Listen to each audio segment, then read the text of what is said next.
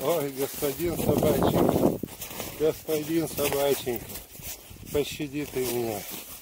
Не губи меня, господин собачник, господин собачник.